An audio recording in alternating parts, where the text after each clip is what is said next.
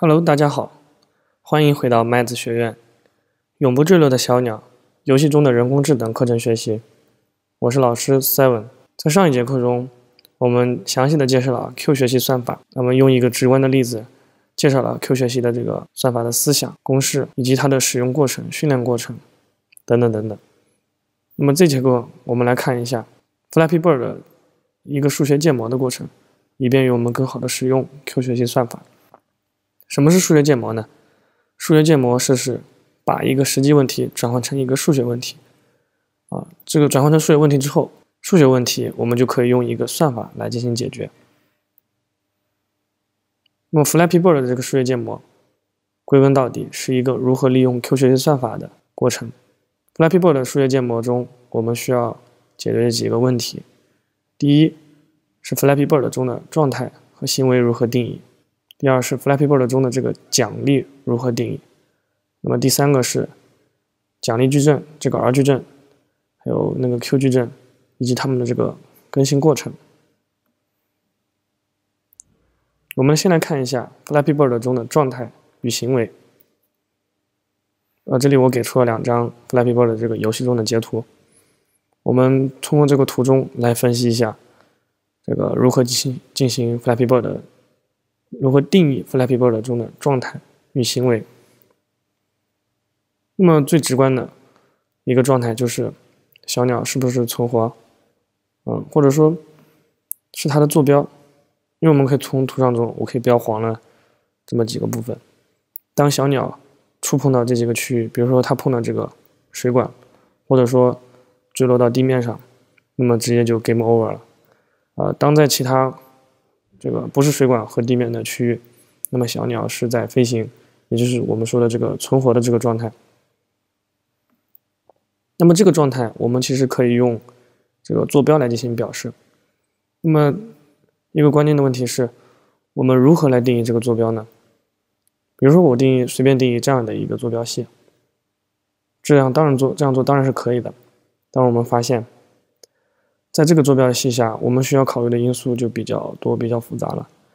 因为这个水管的高度是不一样的。这个我们除了需要考考虑这个小鸟的位置之外，还要考虑这个水管的高度问题。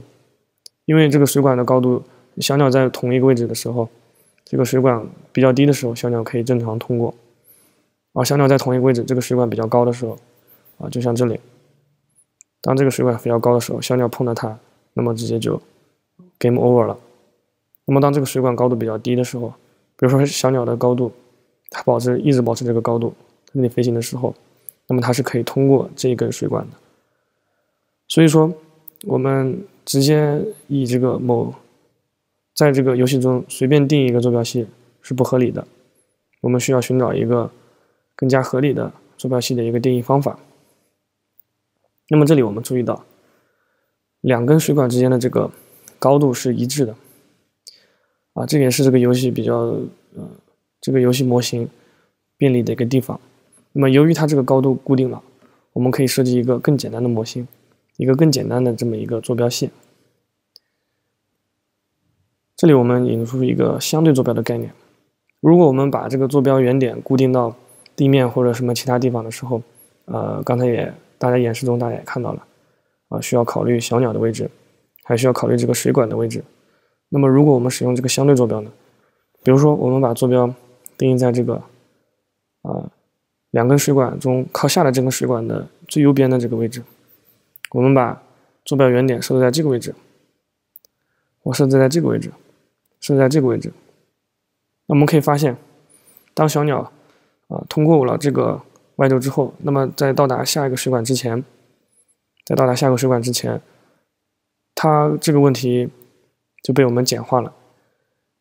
因为不论这个水管高度是这样的高度，还是这样的高度，还是这样的高度，那么我们所需要考虑的仅仅是这个小鸟的位置即可。水管的这个位置也永远是固定的，因为这个高度是固定的啊，这个水管的宽度也是固定的。那么我们知道。当这个小鸟只要进入了，嗯，这个坐标系的这个区域，啊，以及这上面这块区域，那么小鸟一定一定是啊 game over 了，那么在这里也一样啊，我设置这边有坐标原点，如果小鸟在这个位置，或者说在上面这个区域的位置啊，它肯定是 game over 了。那么在其他空白的区域，它就是存活状态。那么这就是首先第一个这个状态的设定，我们利用一个相对坐标来简化这个整个的这么一个过程。所以这里我们只需要考虑小鸟的这个坐标即可了。啊，因为这个游戏中每一个水管的这个坐标会提前告知我们，啊，我们从程序可以获取到每一根水管的这个高度，所以设定这样一个相对的坐标系是比较容易的。而小鸟的这个位置是由我们人来控制，还有程序它自己控制，两部分啊综合作用在一起的。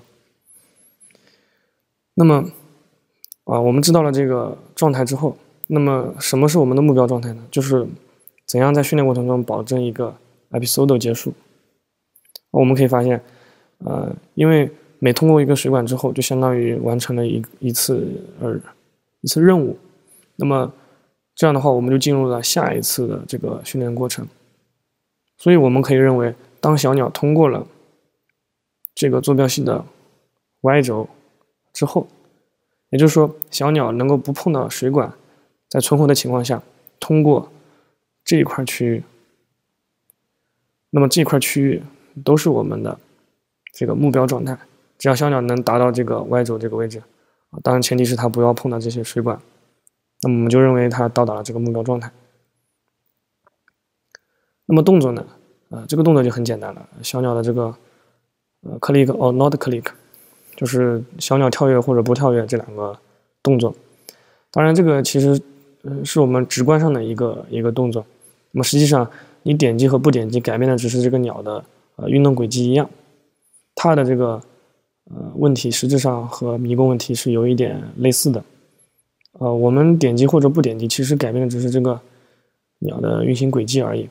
那么，比如说这个鸟在这个位置的时候，如果我们不对它进行点击，那么它下步的状态转移是往这个方向走的。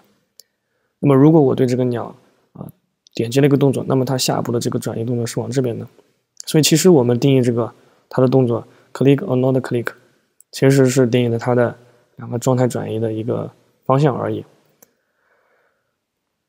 那么奖励呢？这个奖励和刚才这个迷宫就不太一样了，嗯，因为在奖励过程中，我们的这个目标很明确的是只有一个状态，那么这里我们的目标是通过这么一块区域，那么这是一个。呃，比较抽象的东西，我们没有办法很准确的给出这么一个定义，如何这样做是最好，能够到达这个啊这块区域。那么，但是从这个游戏反馈的数据，我们可以知道，当这个小鸟它还存活的时候，我认为这是一个非常好的一个我想要的结果。那么，当这个小鸟撞到水管上，或者说落到了地上，那么这个结果不是我想要的，啊，这时我就给它一个负的反馈。所以这里。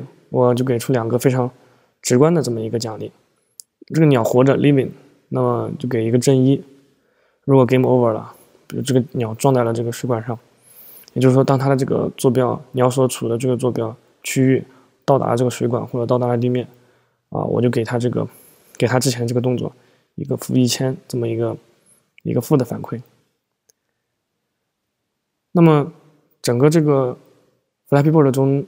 它也需要有一个 R 矩阵和这个 Q 矩阵，也就是我们的奖励矩阵以及决策矩阵。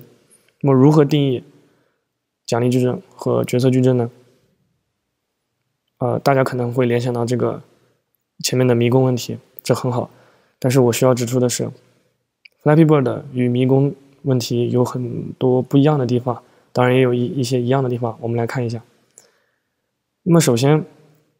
它与迷宫问题最大的一个不一样的，嗯，也很直观的看，就是这个状态数量明显增多了。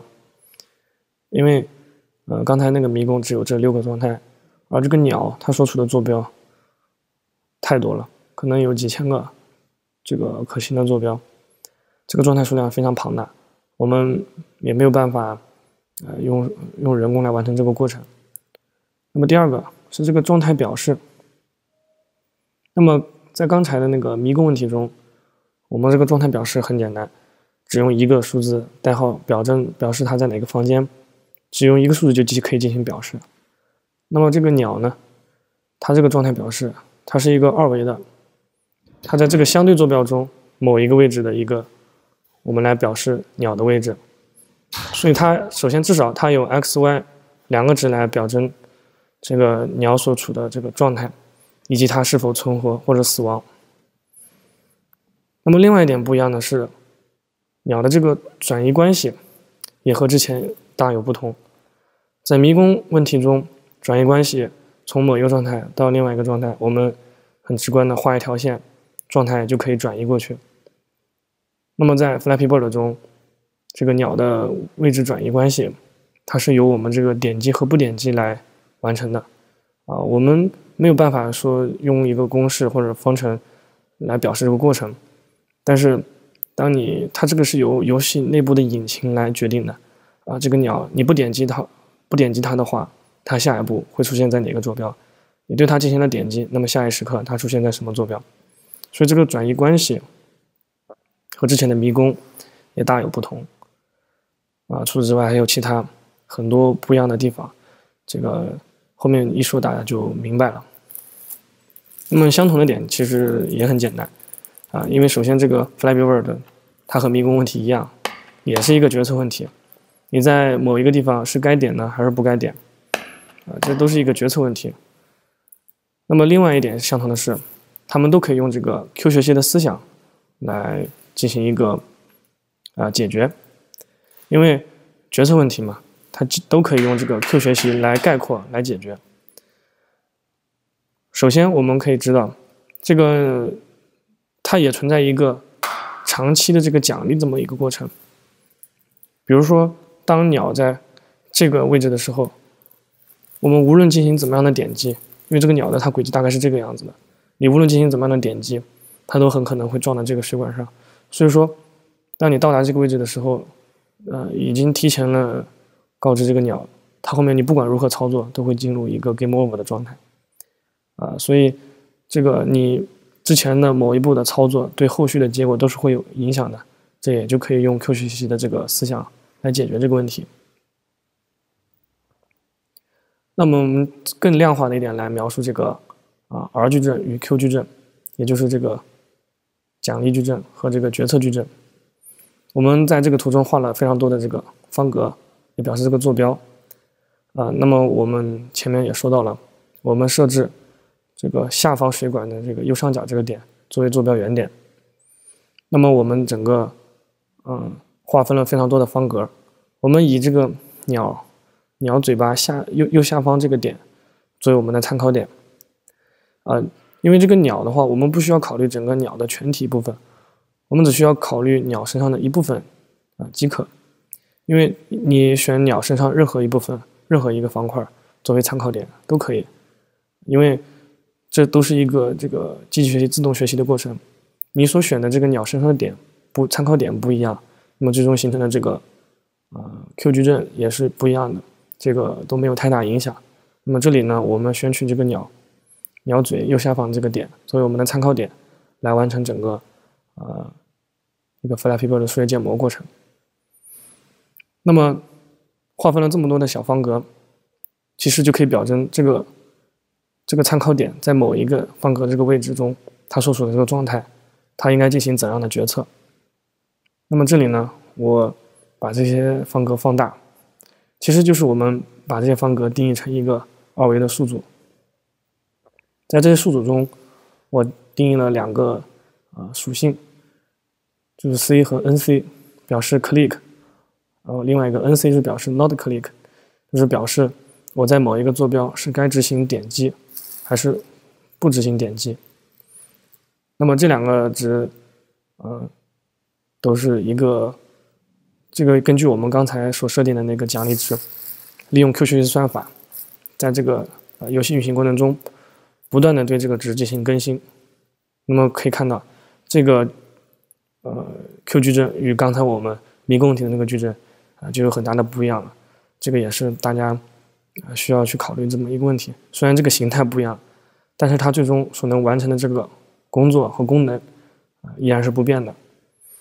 那么在我们最后这个 Q 矩阵训练完成得到之后，这个游戏就可以利用这个矩阵来完成决策了。那么，比如说当这个这个小鸟处在这个点的时候，它会观察这个矩阵中的这个元素的两个属性啊，c 和 nc，click or not click。那么它会寻找那个更大的值来完成它下一步的决策。比如说，如果它在这个点的时候发现不点击的话，哎，这个奖励值会这个 Q 值会更高一点，那么它就会在这个点它就不进行点击。那么到当它不进行点击到达下一个时刻下一个状态的时候，你们继续按照啊这个准则观察这个矩阵中 c 和 nc 的值来完成自己的这个操作。那么基本到这里，Flappy Bird 的数学建模过程就完成了。完成了这个 Flappy Bird 的数学建模过程之后，我们可以开始编写程序来实现这个 Flappy Bird 的 AI 了。啊，这节课就先讲到这里，我们后续会带着大家一步一步的完成 Flappy Bird 啊这个游戏中的人工智能的一个小程序的编写。好，谢谢大家。